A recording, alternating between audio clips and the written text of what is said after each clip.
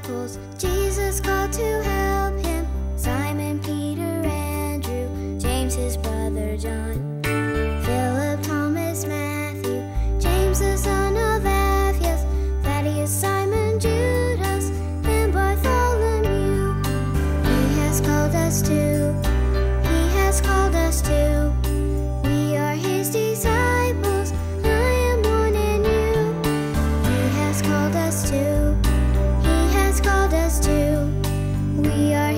disciples we his work must do.